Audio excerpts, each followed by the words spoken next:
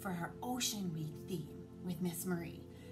So those two notes that I played on the piano come from a very popular movie about a shark. And I bet your moms and dads and grandparents, they probably know those two notes. Anyone who has seen the movie or heard of the movie hears those two notes and immediately knows what movie it's from. So that's what's really cool about music. People can tell a story with music. They can talk about emotion, like that emotion makes me a little nervous that maybe something exciting or thrilling is gonna happen. And that's what music gets to do, which is so cool. So, for this Ocean Week theme, Miss Marie is going to read a story about a nice shark named Clark. Clark the Shark, which is one of my favorite books. So she's gonna read that, and I'm gonna show you some pictures of some underwater animals that uh, you would see in the ocean.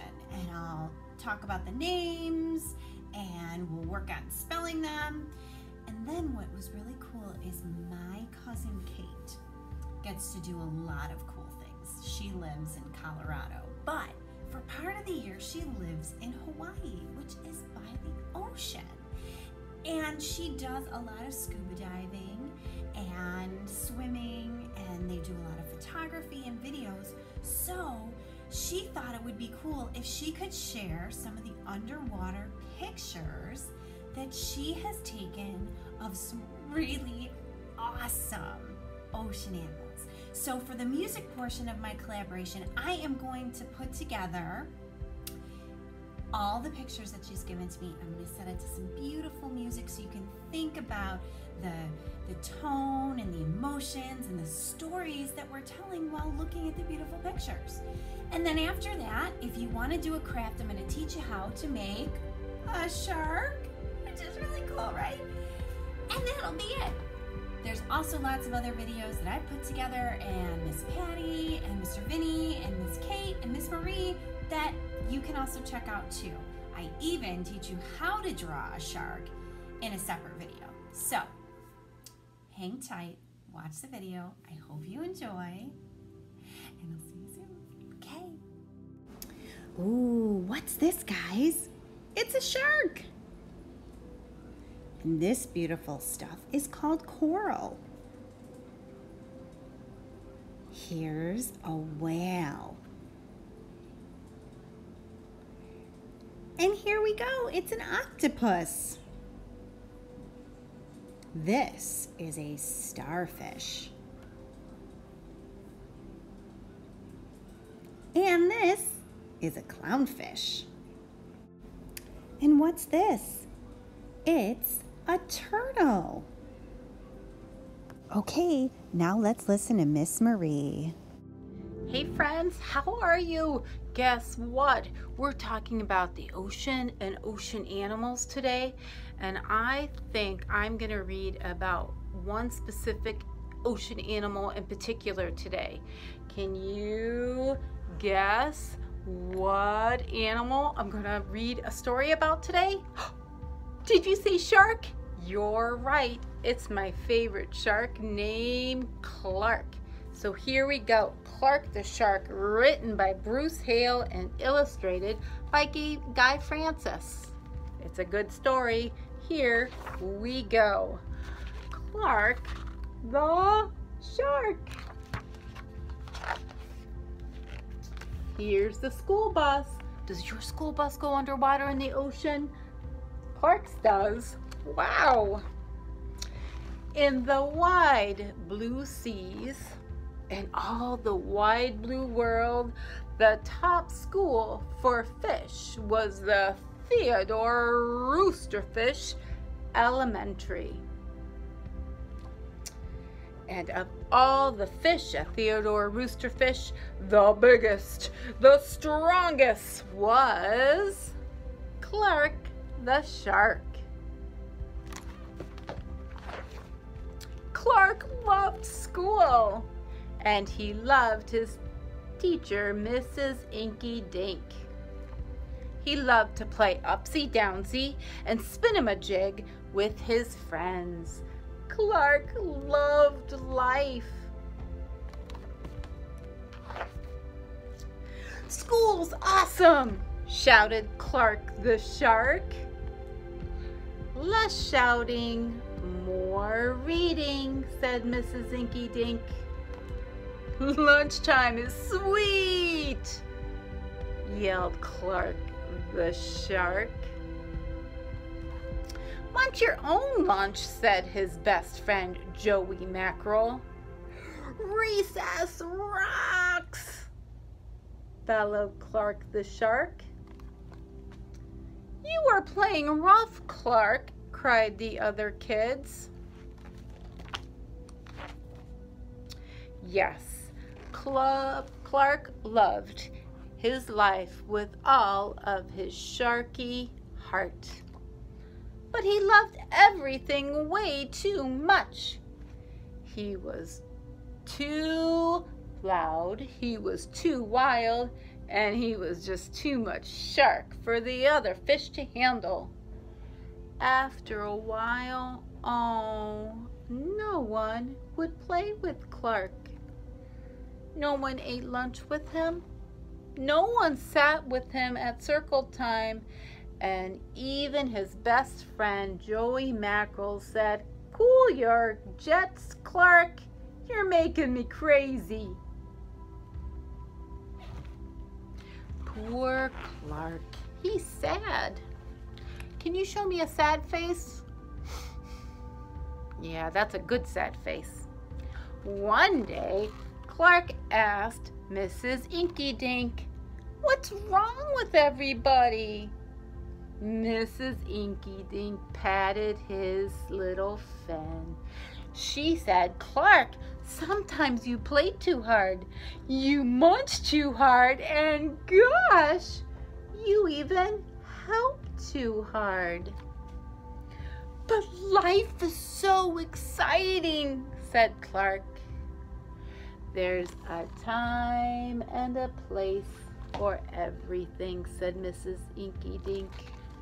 And sometimes the rule is stay cool.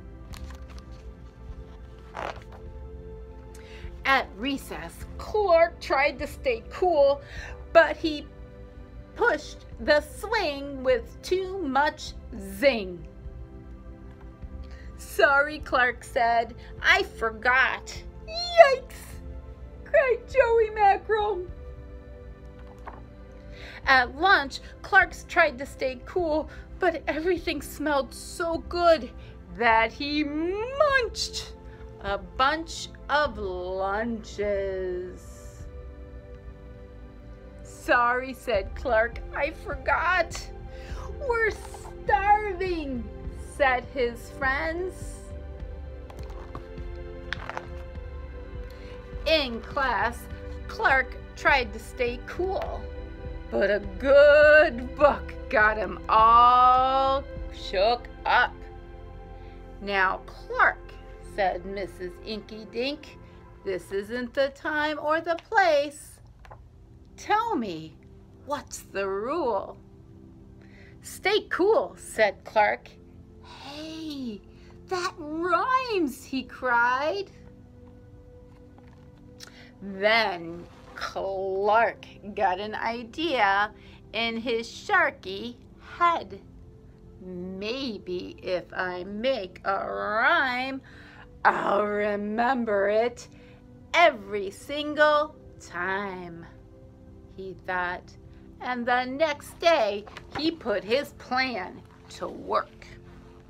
In class, when lessons got exciting, Clark wanted to bounce up and down in his seat. Instead, he told himself, when teachers are talking, don't go walking. And what do you know? It worked!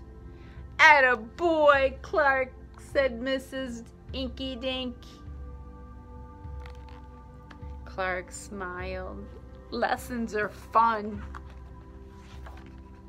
At lunch, everything smelled so yummy.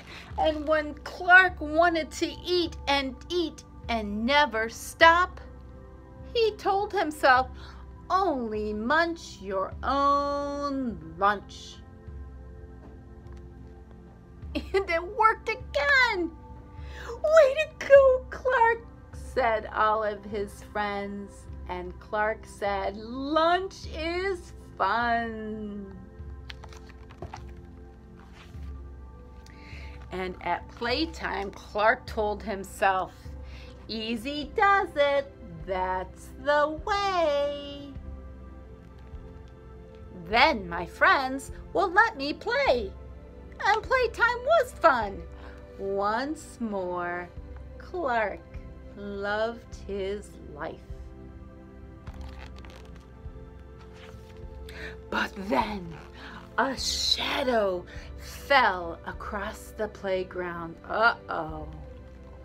A ginormous shadow with tentacles galore. What animal is that, friends? What could it be? Hey, it's a new kid and he looks scary, cried Joey Mackerel. Swim for your life. The squid squashed the slime and it snapped off the swings. Whoops, my bad, said the new kid. Wait, said Clark He just wants to play. Let's find a way. And so Clark swam at the new kid with all his might.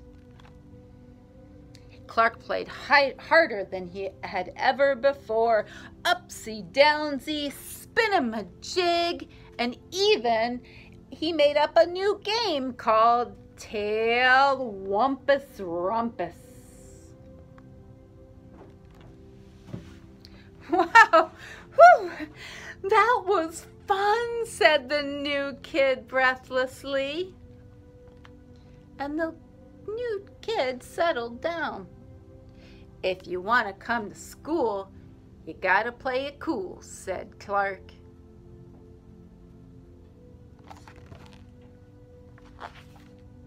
That's right, Clark, said Mrs. Inky Dink. And thanks for taking care of our new student, Sid the Squid. Hooray for Clark the Shark! Everyone cheered. Oh, that was super nice of Clark. That night, Clark got home and his mother asked, What did you learn in school today, dear? There's a time and a place for everything, Clark said. Sometimes you've got to stay cool. But sometimes, oh, sometimes a shark's gotta do what a shark's got to do.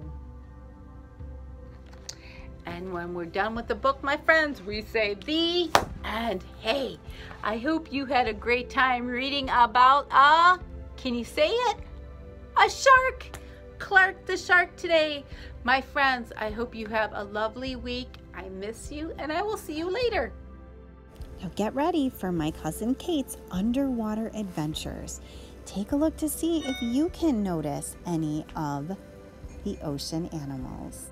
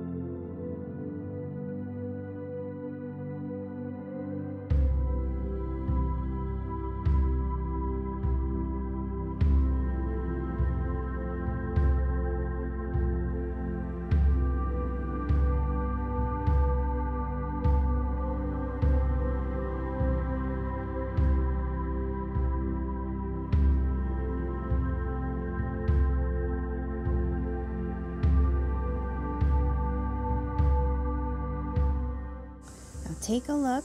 This is my cousin Kate swimming with a whale shark. Pretty cool stuff. I hope you guys enjoyed. And if you're ready, I'm going to teach you how to make a shark. Okay friends, here's our shark craft.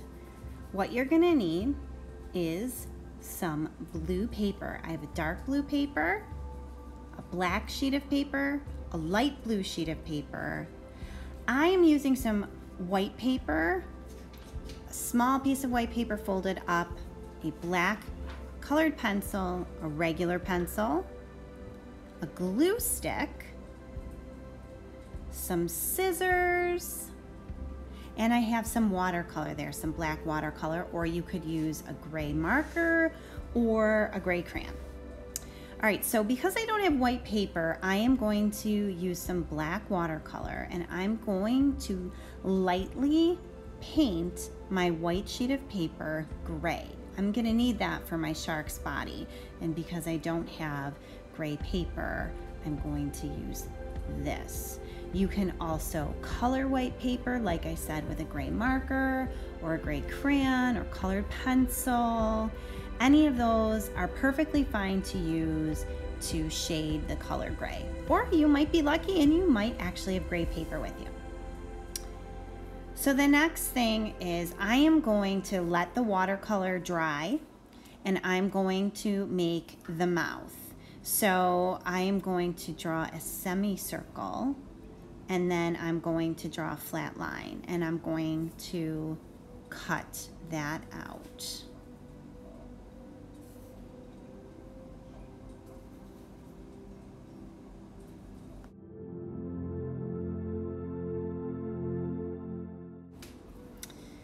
So after I have cut out the mouth, I am going to make some teeth. So I folded my paper and I'm going to make little triangles on the edge and see because I folded it I'm going to have double the teeth when I cut them out. So I'm going to use those for the teeth and then if you cut along the line you actually make even even more. So next what we're going to do is we're going to draw some waves. So we're going to draw the waves at the bottom of the light blue paper and we are going to cut them out.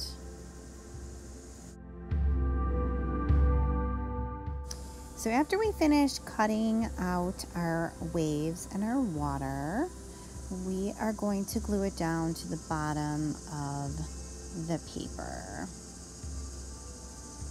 Just there.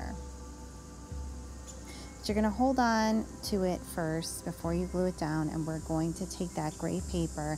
We're going to make a triangle almost for our shark's body. So go ahead and draw that and we're going to cut that out.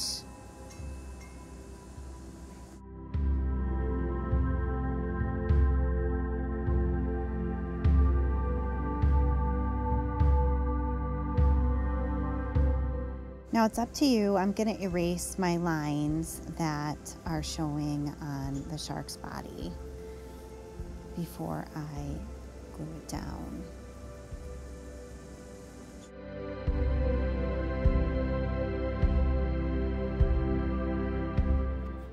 Go ahead, now you can glue on your waves.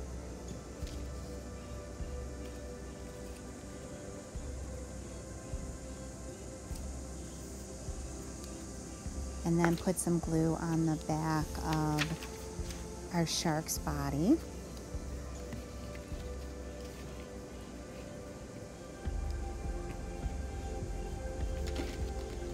And we're just gonna tuck it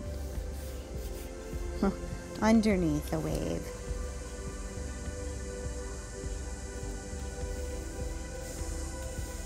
So smooth that down and we're going to take the shark's mouth, that circle, we're going to put some glue on the back of it and we're going to position it right at the bottom. So what I'm going to do is I'm going to make little marks on the tops and the bottom of the mouth and then I'm going to go ahead and place my white triangles for the teeth all around the shark's mouth.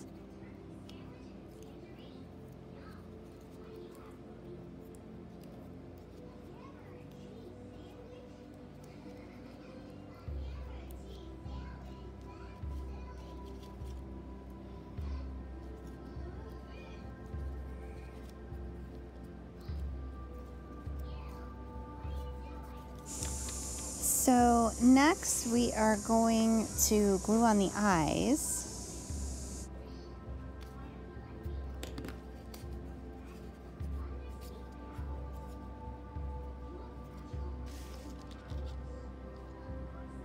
And this is where I'm going to grab that black colored pencil and I'm going to make a smaller black circle inside those white eyes.